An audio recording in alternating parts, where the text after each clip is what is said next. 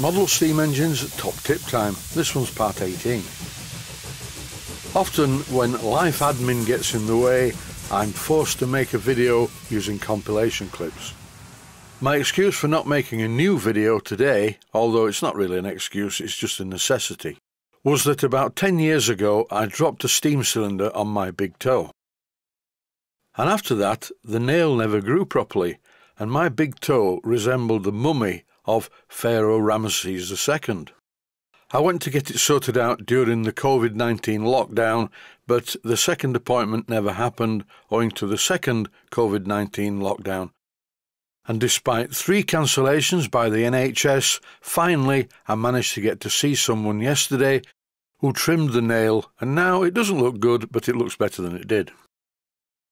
I don't think that the NHS, that is the National Health Service of Great Britain, are able to cross-reference the appointments of individual patients. Because the hospital phoned me last week to make an appointment for yesterday to go into hospital for a biopsy. Recently I had another MRI scan, and believe it or not, the results took eight weeks to come through.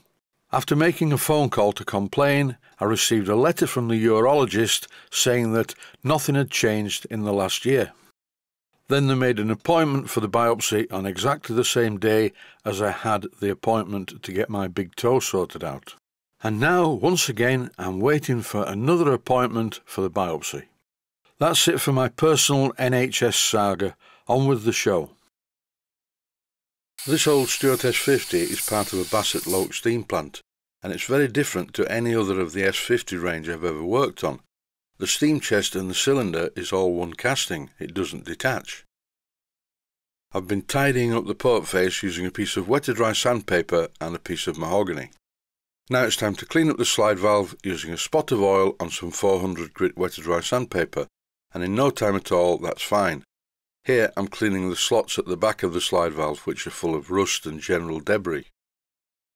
I'm going to use a piece of stainless steel to make the new valve rod because the last one was very very rusty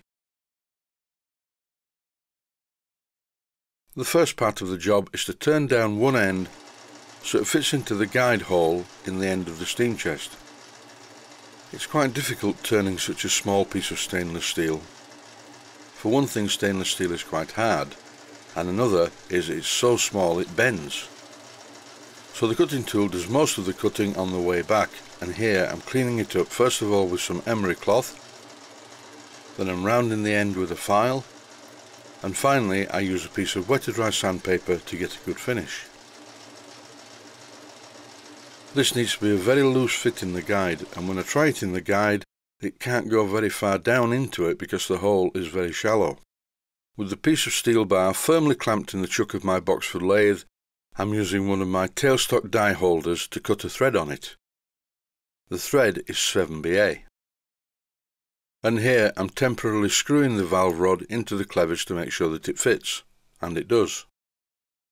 But almost as soon as I'd fitted the clevis I removed it, because I need to machine a thread quite a long way down the other end, and this will fit in the driving block which makes the valve travel adjustable. I need to know how long a thread to cut on the main part of the shaft. As I don't have a drawing for this engine, I need to know what the dimensions are, and the best way to find out is to connect the valve rod to the eccentric rod and mark an area where I'm going to cut the thread. And in this clip at a very high speed as the video is speeded up, I'm cutting the thread using my tailstock die holder.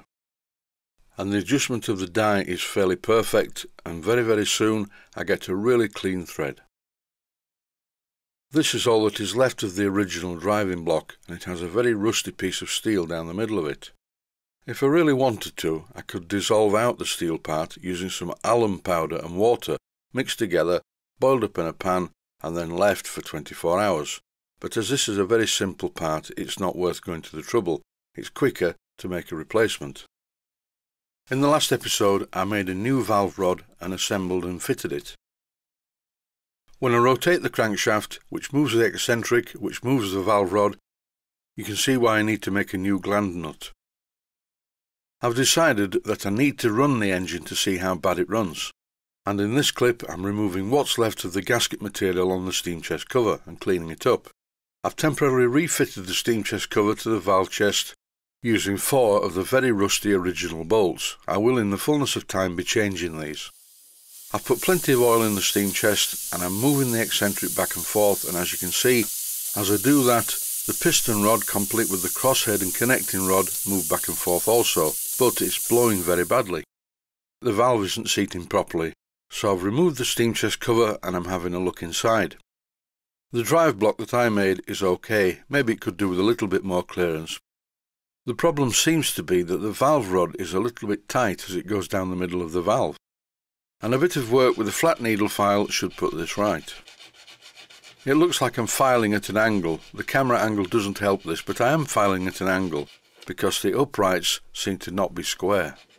After attacking the valve with this needle file, everything should be fine when I put it back together. So there's only one way to find out, I'll put it back together. In this clip you can see that there's a good bit more play than there was originally. Because don't forget, slide valves have to float on the driving block and you rely on the pressure of steam in the steam chest to keep the valve on the port face. I think this time round everything should be okay. I've refitted the eccentric rod to the valve rod clevis. It's now working much better. As I rotate the crankshaft which rotates the eccentric and moves the valve rod, the piston rod, complete with the crosshead and the connecting rod, move back and forth very quickly, and there's far less air getting blown to exhaust. Some of the hissing you can hear isn't coming from the exhaust, it's coming from the inlet which is leaking around the steam chest cover. I thought it would be a good idea to fit the flywheel and give it a run. And I must admit, I was really surprised how well it ran. The flywheel is only pushed onto the end of the crankshaft and the crankshaft is fairly true, or so it would appear, the air is leaking from my pipe pushed onto the steam chest cover. I set the valve timing fairly accurately and I'm surprised that it runs this well. There's plenty of power as well. And that's it from me for this episode. It's time to just let you watch the engine running. Thanks for watching and I hope you found it useful.